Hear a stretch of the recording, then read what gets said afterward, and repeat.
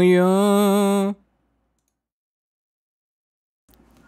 Este viaje se planeó solo como unas cortas vacaciones al principio, pero unos meses antes todo se alineó para que tuviera la oportunidad de descubrir algo que me, que me había intrigado toda mi vida. Según mi papá, mi madre nos abandonó cuando yo tenía dos años.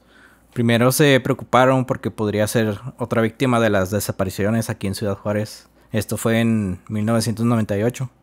Pero meses después encontraron movimientos en su cuenta de banco y luego esa cuenta fue cerrada. Así que supimos que de verdad se había ido. Yo no hablo con nadie del lado de, de su familia, solo con una tía abuela que vive aquí en la ciudad pero nunca nos mencionó saber algo de, de, mi madre. Además de que mi papá nunca quiso saber nada más de ella después de que nos dejó.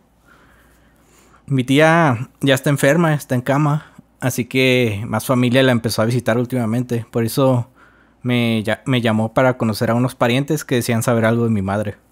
Según me contaron, ella se movió mucho dentro del país y en Estados Unidos, y que hace poco escucharon que ella estaba viviendo en Japón trabajando como contadora en un puerto en Aomori. Yo no tenía planeado salir de Tokio en realidad, pero con esta oportunidad tenía que ver si podía encontrarla. Mi papá tiró todas las fotos de ella, así que no sabía cómo era. Pero hace como un año encontré un recorte de, de, periódico donde salía mi madre. Solo un par de semanas antes de desaparecer. Esta foto ya tiene 25 años, pero esperaba que me sirviera para identificarla.